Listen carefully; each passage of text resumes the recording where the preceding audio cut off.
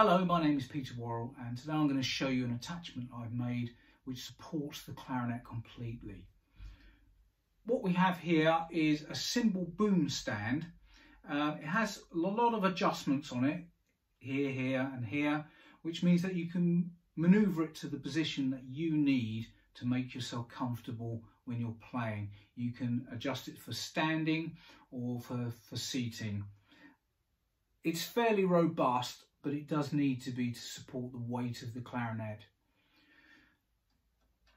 This section here is where the cymbals would go and I've made this attachment here which fits onto a camera tripod and this is a ball attachment which has some movement in it here and a decent thumb lock there to lock it in position.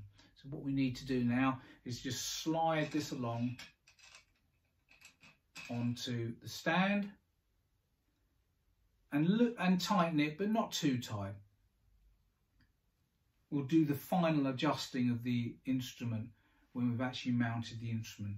So here is the base section of the uh, camera ball attachment and to that I've manufactured a, a base here which now screws into the back of the one-handed clarinet. This fitting here is standard on all my one-handed clarinets but it can be retrofitted to a standard clarinet. So all we do is screw that in and tighten it making sure that the plate is parallel with the body of the instrument. So then all you need to do is put it into the seat and then click it down and there it is supported. So that's when you need to undertake the final adjustments to get it to exactly where you want it. Um, you can adjust the angle of the instrument here you can adjust the tilt of the instrument as well.